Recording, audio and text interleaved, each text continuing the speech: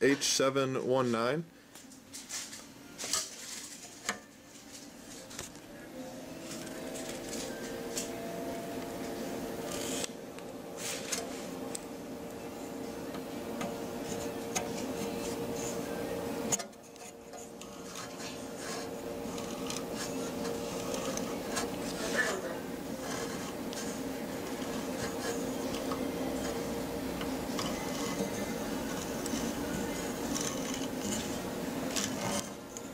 You can see the intensity going down and back up again.